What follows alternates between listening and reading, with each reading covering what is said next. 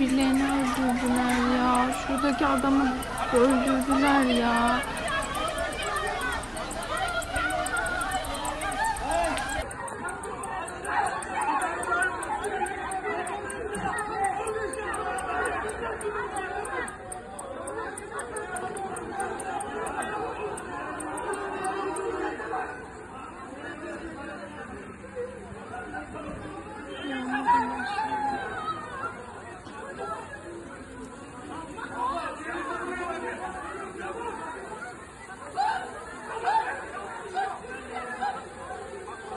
O adam hep kanlar içinde.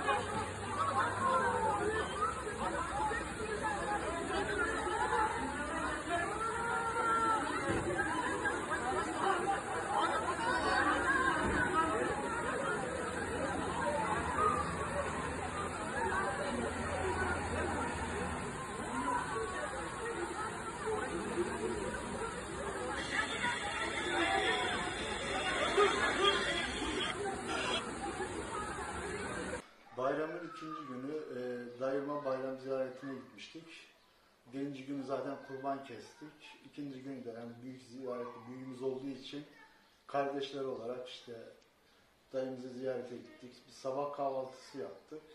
O arada muhabbetle dedi ki işte bugün e, ufak torunu için ayrılmış e, eniştesinden torunu için bugün almaya gelecek falan dedi. O arada işte zil çaldı. Yengem e, çocuğu aldı, aşağı indi, götürdü. Daha sonra e, yukarı geldi. E, hoca seni çağırıyor, seninle konuşmak istiyor dedi İbrahim için. Dayım dedi tamam bir bakayım ne diyor. İndi dayım aşağı. Biz de dedik hani bir bakalım ne oluyor şey yapıyor. Gitmedik ama baktım ki iner inmez dayım bir gürültü ses, patırtı sesler gelmeye başladı. Direkt ben dışarı çıktım. Yerde kanları gördüm. Ee, İbrahim'in dayımı bıçakladığını anladım. Daha sonra gittim e, İbrahim'i etkisiz hale getirmek için e, e, bir tane yumruk attım. O arada bana bir bıçak salladı. Bıçak salladıktan sonra anladım ki bu herkese bıçak atıyor. Bu sefer tuttuk elinden bıçağı almaya. Bıçak almak için zorladık. Bıçağı aldık. Daha sonra annesi elinde baltayla getirdi. Dayımın kafasına, şu taraflarına falan yani seri bir şekilde vurmaya başladı. Yani alanda dar olduğu için müdahale de edemiyoruz. Yani merdiven üstü dar alan olduğu için e, müdahale de edemiyoruz.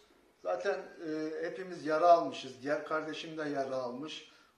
O İbrahim'in eski eniştesi o esnada hepimize bıçak atmış. Yani farkında olmadan, şey yapmadan öldürmenin şeyiyle. Daha sonra etkisiz hale getirdik, şey yaptık. Bu sefer herkes can telaşına düştü. İşte ambulans falan çağrıldı. Ambulansları çağırdık, polisi arandı. Ee, ben göğsümden yaralandım, buradan yaralandım. Kar, e, en ufak kardeşim karaciğerinden alt tarafından yaralanmış.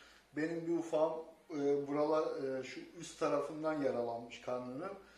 Ee, Süleyman Hoca'nın eniştesi de bacağından yaralanmış. Bacağı çok kötü durumdaydı. Artık bacağına nasıl vurulduysa, nasıl şey yapıldıysa büyük ihtimalle baltayla vurdular herhalde.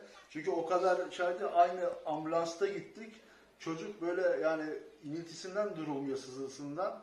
Daha yeni şeyden yoğun bakımdan çıktı. Yani o, o derece kötü saldırılmış.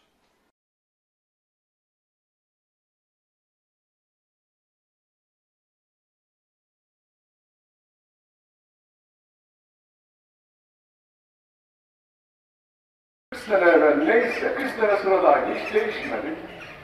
1981 yılında Gümüşhane'de Razafan Mahallesi'nden merkezdeki Kıbrıs Mahallesi İmam Hoşu'na giderken kelimeler bulamıyorum izah etmek için. Hakikaten Ya bir insan lise okur, üniversite okur da bu kadar mı böyle temiz kalır, bu kadar mı yalın kalır? Öyleydi. Allah bütün geçmişlerinize rahmet eylesin. Hepiniz sağ olun, var olun. İnşallah hocam da belli ettiler, söylediler. Allah razı olsun. Cenab-ı için duaya uyum hazır olan imama her kişi niyetine.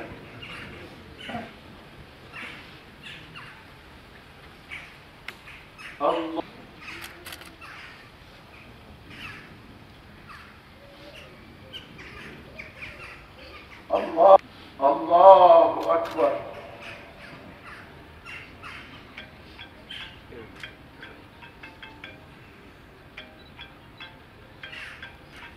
Selamun Aleyküm ve Rahmetullah.